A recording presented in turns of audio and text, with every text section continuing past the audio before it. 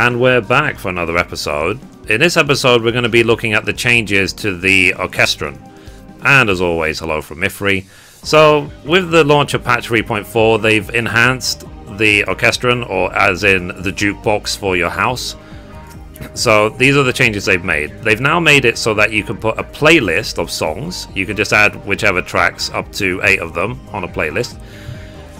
And also, as well, it lists nice and conveniently for you the names of which tracks you actually don't own. So it does say which ones you do have, and then it lists which ones you don't by name. So you don't have to guess the names anymore. It's all right there. And yeah, so it's a nice little improvement to the system.